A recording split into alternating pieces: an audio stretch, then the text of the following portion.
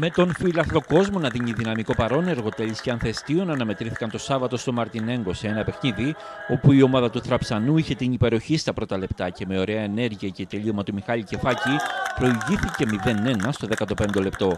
Ο κυπεδούχο Εργοτέλης έβγαλε αντίδραση στη συνέχεια και αφού στο 30ο λεπτό έχασε ευκαιρία με τον Ντίσα, 5 λεπτά αργότερα μετά από φάση διαρκείας και απόκριση του Χρονάκη σε κοντινή κεφαλιά του Ντίσα, ο Κουτάντος έσπρωξε από κοντά την μπάλα στα δίκτυα ισοφερίζοντας 1-1. Στην επανάληψη, ο Ανθεστίων είχε τι ευκαιρίες για να βάλει δεύτερο γκολ με τους Γιδάκη και Κεφάκη να μην τις αξιοποιούν. Σε μια αντεπίθεση με τον Ντίσα σε 27ο λεπτό, ο επιθετικός του εργοτέλη με εντυπωσιακή ενέργεια βρέθηκε απέναντι από τον Χρονάκη, αλλά ανατράπηκε από τον Δρακάκη με τον διαιτητή κύριο Πατεντζή να υποδεικνύει το πέναλτι και να αποβάλει τον αρχηγό του Ανθεστίωνα.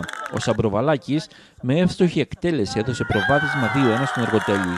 Όμως από εκεί και πέρα τον λόγο είχε η ποιότητα και η εμπειρία της ομάδας του Τραψανού. Μετά από φάλου του Χριστάκη, ο Μπερνίκου με πανέμορφη κεφαλιά ισοφάρισε 2-2 στο 73ο λεπτό.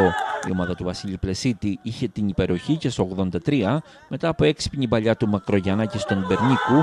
Εκείνο γύρισε την μπάλα προς το τέρμα, ο Μοιράση δεν μπόρεσε να τη συγκρατήσει και περνώντας την γραμμή του τέρματο έγινε το 2-3.